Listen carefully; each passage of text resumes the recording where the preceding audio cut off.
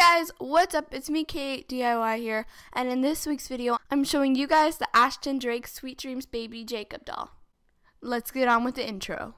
Breaking news!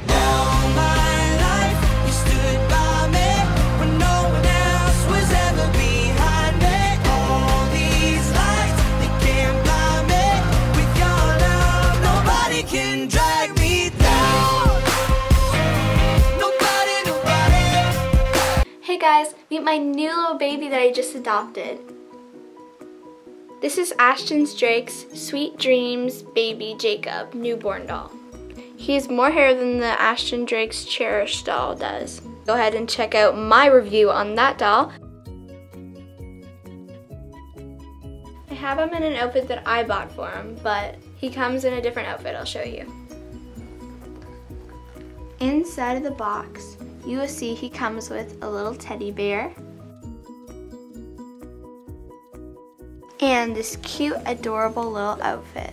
It is made from a soft, thin material and has five buttons to undo him. He comes with a diaper as well, though these aren't the ones that he comes in. Now the babies are both the same size. This one might look a bit bigger, but it's only because it has this here. So the Ashton Drake Sweet Dreams Baby Jacob doll looks a bit strange compared to the other Cherish doll over here, and that is because its armature has been removed. We bought him from a lady who removed his armature. If you would like to have a more realistic feel of a baby and look, then you can go ahead and take out the armature. It makes it feel more like a real baby. The armature is a wire that goes through its arms and its legs to make it be able to bend. For instance, the Cherish doll.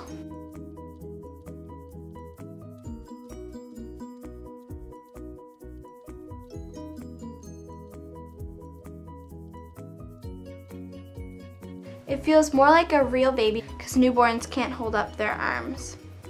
The only difference with taking out the armature in an Ashton Drake doll is that you don't have bendability, but they're both the same.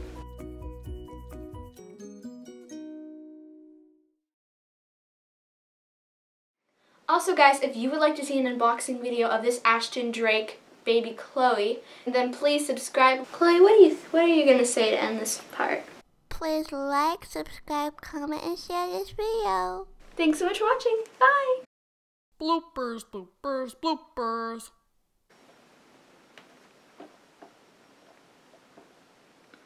Sweet dreams, baby Jacob. That sounds creepy. Sweet dreams, baby Jacob.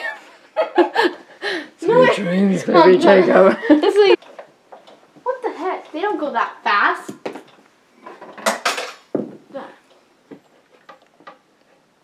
Okay, when you adjust the oh. light, it looks terrible. the light there, that's good. Oh.